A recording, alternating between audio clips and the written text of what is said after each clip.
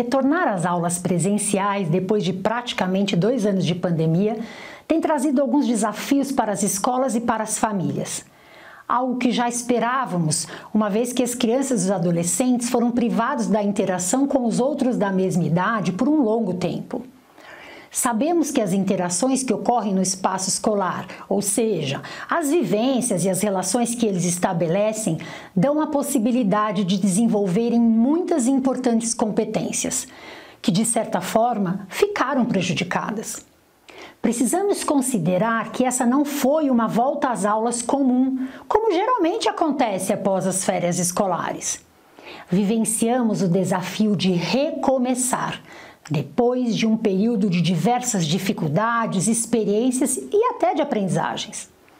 Muitos educadores têm comentado sobre a presença de conflitos interpessoais e a falta de tolerância entre os alunos.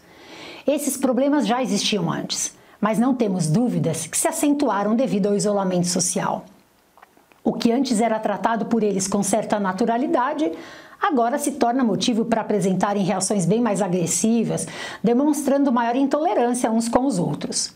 E o que podemos fazer? A aprendizagem socioemocional tem estado em evidência e um primeiro ponto que indicamos é promover espaços coletivos e individuais para que os alunos falem sobre as suas emoções. Para que eles consigam regular suas emoções, é preciso que sejam capazes de reconhecer o que sentem. Dessa forma, precisamos favorecer o autoconhecimento e a autorregulação, que são pilares do processo de desenvolvimento das competências socioemocionais. Outra ideia que precisamos considerar é que os conflitos interpessoais fazem parte das relações humanas e a forma como lidamos com esses problemas na escola pode fazer a diferença se queremos favorecer o desenvolvimento da autonomia dos alunos.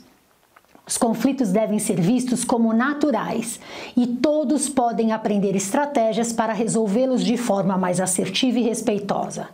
Sim, é possível aprender estratégias para resolver esses problemas.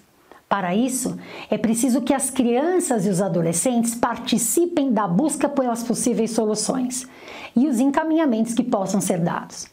Quando eles participam de forma ativa nesse processo, têm a oportunidade de construir instrumentos para resolver os problemas de convivência, além de desenvolver competências como assertividade, respeito e empatia. Ações planejadas, intencionais e frequentes que promovam as competências socioemocionais, como propomos no programa Semente, com certeza farão a diferença para auxiliar o trabalho nas escolas promover ações de prevenção e intervenção que levem a reflexões e a tomada de consciência, não apenas nesse momento, também não podem faltar. Obrigada e até breve.